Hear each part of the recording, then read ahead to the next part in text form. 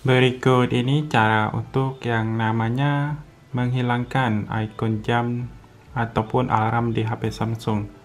Jadi ketika kita melakukan atau setting alarm, otomatis di atasnya itu ada yang namanya icon jam. Nah, bagaimana cara menghilangkan bagi kalian yang masih pemula menggunakan HP Samsung?